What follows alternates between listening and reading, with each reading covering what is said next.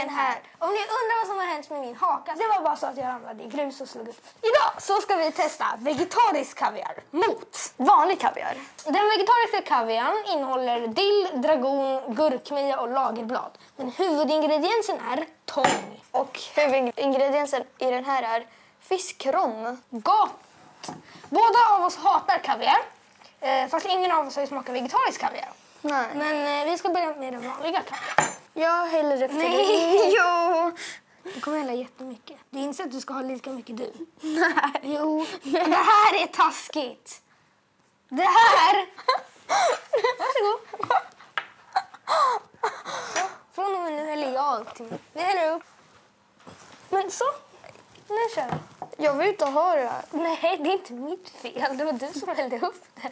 Nu kör vi. Det Ett. luktar värre än bajs. Nej, det, nej, det, nej. Jag vill inte. Okej, nu kör vi. Jo.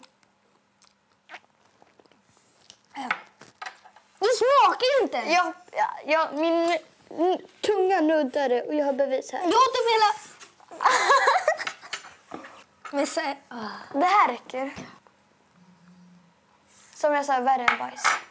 Jag går och hämtar två nya skedar. Hej då. Tillbaka. Då testar vi. Det, här ser ju äckligare ut. Mm, testar vi. Ett, två, Två, tre. tre. Maha! Du ska testa! Ät upp hela, allt det som ligger där. Men vad taskigt. Så här.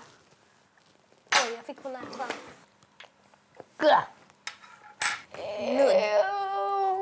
Fattar inte, alltså det, den, den vegetariska var mycket godare för att den andra smakade mer äckligt. Det är en väldigt bra anledning. Båda är äckliga. Hon har inte ens smakat. Alltså ni behöver inte lyssna på henne för hon har inte ens smakat. Min summering är att den vegetariska är bättre och får typ 2 poäng och den andra får 0,5 poäng. Och Mahas summering är att alla får 0 poäng för hon har inte smakat någon av dem. Jag smakade visst. Ni såg. Nej,